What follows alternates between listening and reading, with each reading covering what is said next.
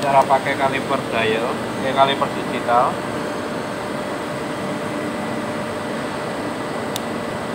Nol.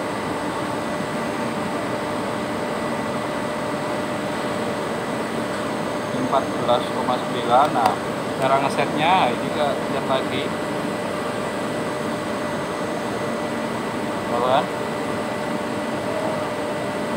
Kalau matinya pencet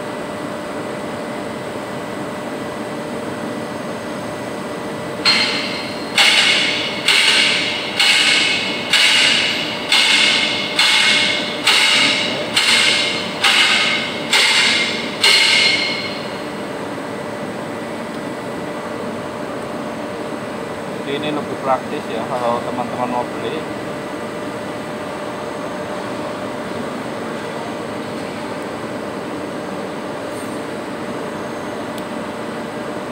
Matinya pencet